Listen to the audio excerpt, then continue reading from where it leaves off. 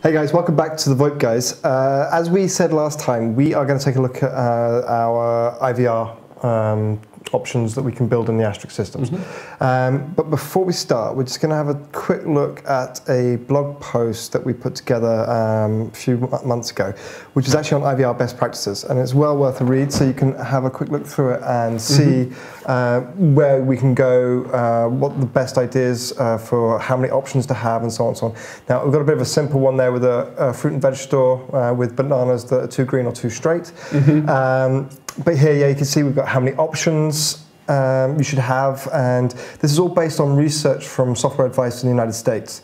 Um, so it definitely provides a good guideline for what you can go through.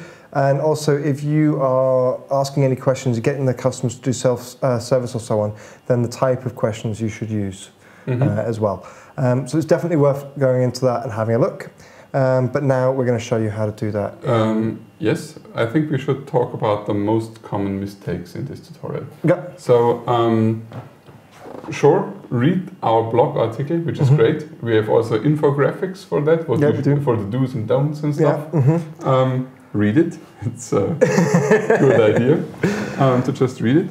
Um, but I think now we should talk about what is an IVR in detail mm-hmm. and the most common mistakes we know from our everyday life. Yeah. Mm-hmm. So, for what is an IVR, maybe somebody does not know. It's just the very annoying menu that you get in many cases, yeah. um, which asks you press one for support, press mm-hmm. two for sales, press three for nothing. Yeah. Mm-hmm. Mm-hmm. So that's an IVR menu.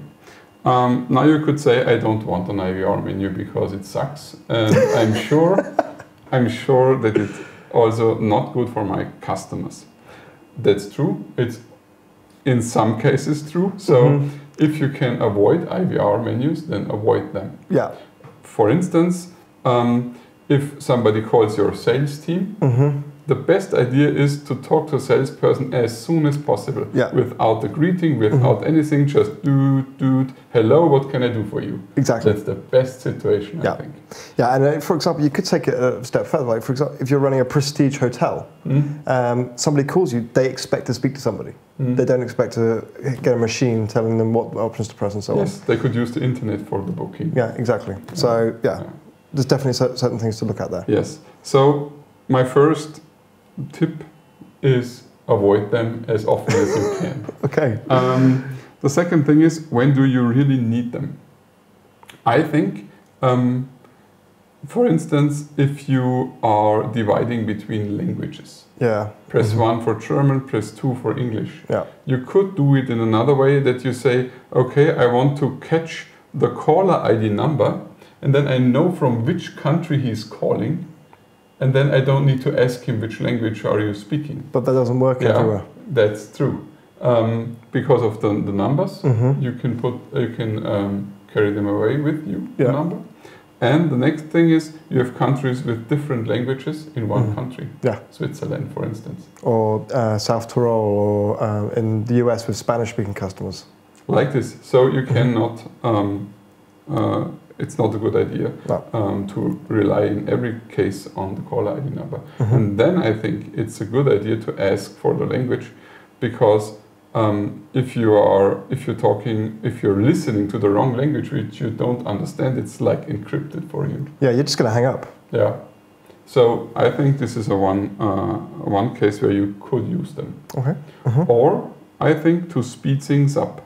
I make an example if you have a support queue mm-hmm. and there are just no more support guys and they are phoning all the day, then you could say, okay, you need more employees, mm-hmm. but maybe it just does not work now. Yeah. Then you could, could do, I think, some convenience thing.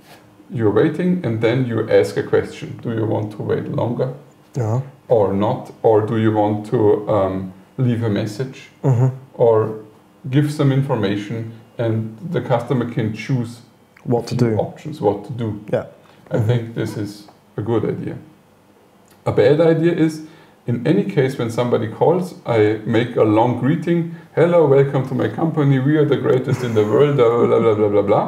And then IVR menu. If you want to talk to sales, please press one. Blah blah blah. And then he presses one, and then he says, please provide your customer number, blah, blah, blah, blah, blah, blah, blah, blah, blah, blah, blah, blah, blah. Yeah, And if you need information from the Yeah. customer, you should try get that first. yes, Yeah. hmm things like this. So avoid it where you can and only for, I think, customer convenience, Mhm. use IVR menus. Okay. And then I think they don't suck.